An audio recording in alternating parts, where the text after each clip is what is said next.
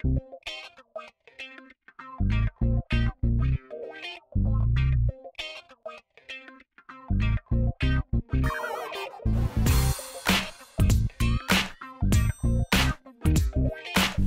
Uh, Box of Tricks is a new writing theatre company. Uh, we're based in Manchester. We've been here for the last eight years nearly. And today we're at home doing the Playbox Takeover. Uh, Playbox is our initiative to support early career Northwest based playwrights. Um, we've had three fantastic playwrights um, with us for a year Nana Kofi Kufuor, Keisha Thompson, and Billy Collins. And today is the culmination of their year long attachment where we're showcasing three brilliant plays that they have written for us.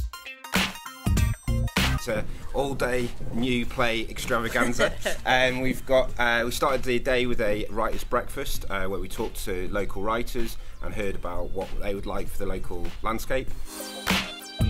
And we've uh, just had a workshop where we've uh, talked to um, emerging theatre makers and producers and writers about how you take a, a, a, a play from uh, page to stage and that process that we go on when we take a you know, seed of an idea and take it through to development and through to production.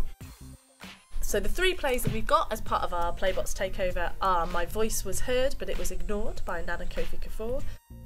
Reese in a cocky way takes his two steps back, slightly grinning. Why did you run, lad? Because you're the police! It's kind of a dumb question, don't you think?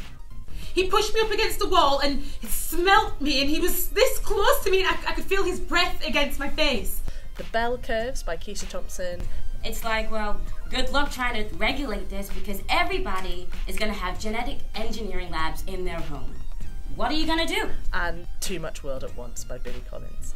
He woke up on the morning of his 15th birthday. And the world was not as he had left it. when he went to bed the night before.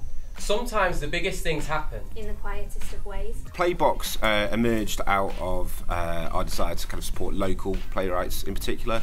Um, so we identify three Northwest writers and we support them over 12 months. And during that time, we give them seed commission. We support the development of that play through dramaturgical uh, sessions, but also through a day-long workshop with actors. And then we give it a, um, a a showcase as part of the public reading as part of Push Festival.